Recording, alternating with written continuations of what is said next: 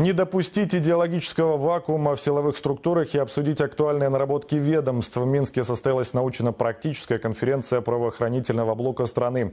С докладами выступили представители МВД, Минобороны, Пограничного и Таможенного комитета, а также МЧС и Института нацбезопасности.